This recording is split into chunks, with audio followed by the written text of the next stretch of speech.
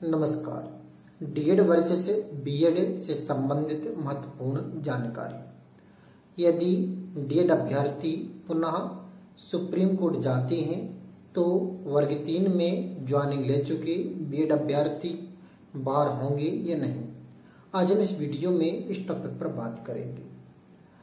सबसे पहले मैं आपको बता दूँ, मैं स्वयं में डीएड किए हूँ और जो मेरी वर्तमान में अंकों की जानकारी है अतिथि शिक्षक से निन्यानवे पॉइंट उनहत्तर है।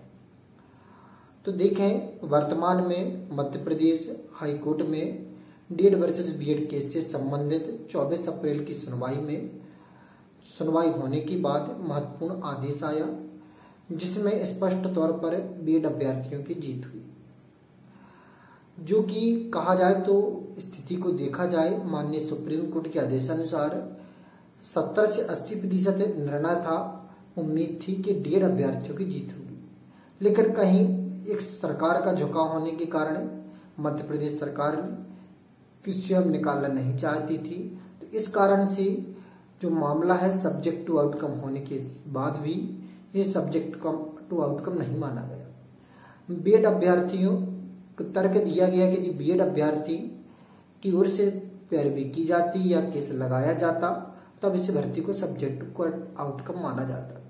इस कारण से बीएड अभ्यर्थियों की जीत हुई। अब यदि पुनः बीएड अभ्यर्थी सुप्रीम कोर्ट जाते हैं और वहाँ केस को रखते हैं तो क्या बीएड अभ्यर्थी बाहर हो सकती है? तो जब चूँकि माननीय सुप्रीम कोर्ट ने निर्देश दिए थे कि जो भर्ती है, वह प्रत्येक राज्य की जो सब्जेक्ट टू आउटकम की स्थिति किसी प्रकार की हो तो वो वहाँ की हाई कोर्ट निर्धारित करेगी। तो मध्य प्रदेश हाई कोर्ट निर्धारित कर चुकी है। इस कारण से उम्मीद अब नहीं है 80 से 90 प्रतिशत चांस है कि अब बेड अभ्यर्थी बाहर नहीं होंगे।